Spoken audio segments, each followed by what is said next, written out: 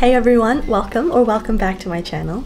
So we've got a very fun bookish video today. We're gonna go to the library, we're gonna get an iced coffee, we're gonna go to the bookshop, but the whole point of this kind of video is to show you like a realistic book girly on a budget sort of video just because I'm not one of those people that can just go into a bookshop and buy like 10 books at once. I wish. but I feel like that would overwhelm me like with my TBR. So we're gonna go to the library, get some free books because that is the whole point of the library. And we'll also pop into a bookshop and maybe just get one book because I do want to buy a book today, but only one. I do have to return these two books um, and I'm like one week overdue, so I'll go return these and go pick up some new books. So I got the Book Club Hotel by Sarah Morgan and Of Literature and Lattes by Catherine Ray.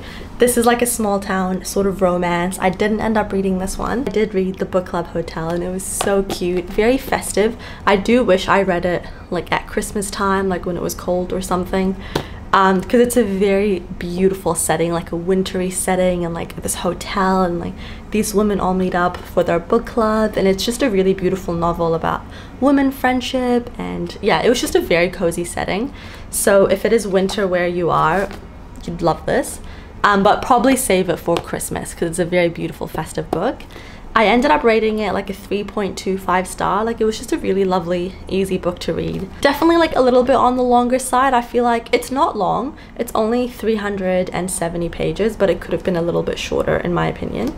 But it was definitely great. And I'm really happy that I got it from the library because I do want to only buy books that I think I'll really love.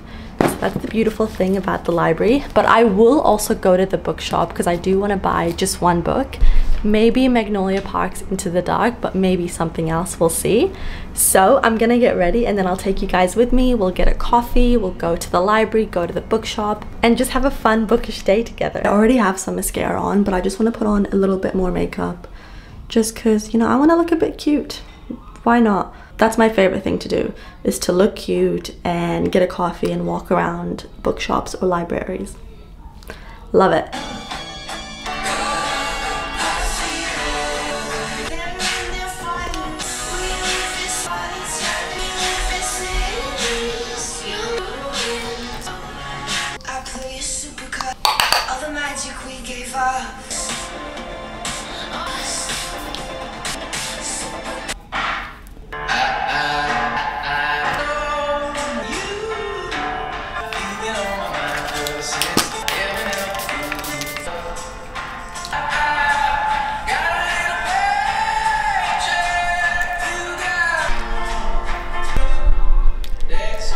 Okay guys, we are ready to go to the library. Got this cute little tote bag. It says if I can't take my book, I'm not going, which is so me. Got my headphones. We are listening to Reputation. I don't know what it is, I'm just in a Reputation mood.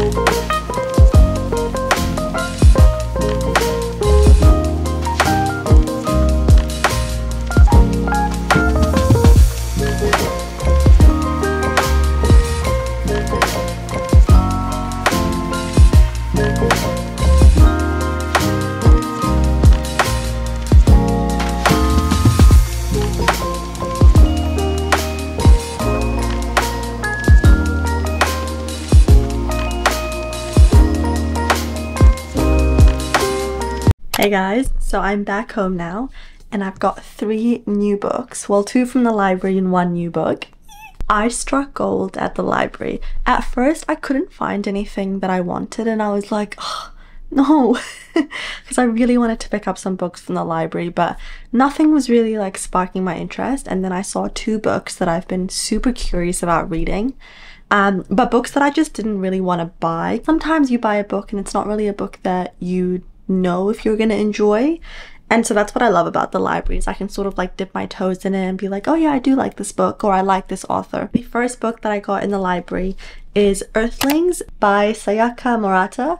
I've heard um, Jack Edwards talk a lot about this book and he says it's incredible, sort of like a fever dream. And I've heard that if you loved the movie Saltburn, you would love this book because it's kind of just as insane as Saltburn and I loved Saltburn. So I'm super excited to read it. People have said you should go into this without really knowing too much about the plot because it's just an incredible book, like super insane, lots of random things, but also very thought provoking. Super excited and we'll see how it goes. I've heard it's very weird and kind of gross though. So I'm kind of scared, which is why again I didn't want to buy it, but I'm happy I found it at the library. So I can give it a go and see if I do like this author and, you know, maybe pick up her other books. Then the other book I found is a book that I do think I'm gonna really like, and that is Alone with You in the Ether by Olivia Blake. I don't think it's a love story. I think it's about these two people who meet.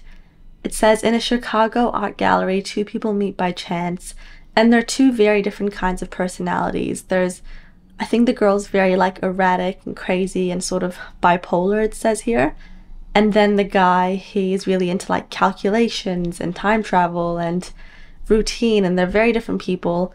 And it says at the bottom, could six conversations with a stranger be the variable that disrupts the entire simulation? I don't know. we'll give it a go. I am excited because I do think I'm going to really like this book. I've heard really good things about it. And a lot of booktubers that I trust have rated this like a five star. So I am excited about this one. And then the book that I bought surprised me.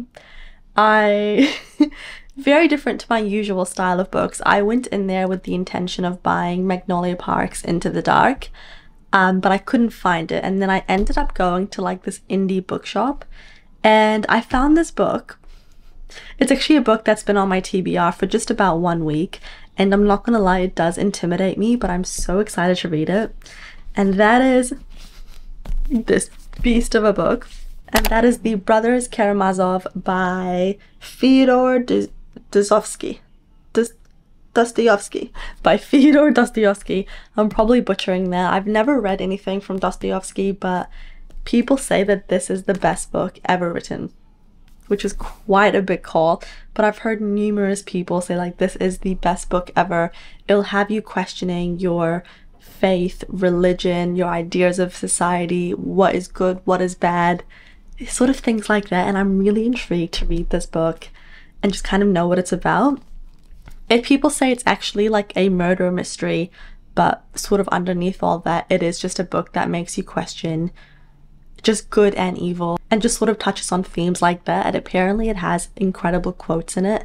Like the whole time you're reading it, you just want to underline all these incredible quotes and apparently it's just so good it's gonna like alter your brain chemistry so i'm really really excited again it's quite intimidating because it is a classic i think this book was released in the 1840s and it's translated from russian to english and I am a little bit scared, but I'm also so excited to read a book like this.